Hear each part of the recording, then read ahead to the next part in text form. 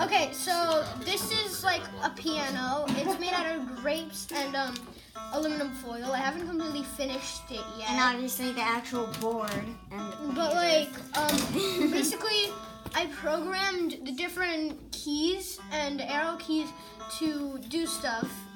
Because like this would be a left arrow key, top arrow key, right arrow key, G, F, D, S. Wait, F doesn't do anything. I'm done. Okay. Um, but like, I just know that I'm clicking something with my finger, and that it makes a sound. I don't really know exactly what it's. Because it closes the circuit. Yeah, it closes the circuit. Very cool.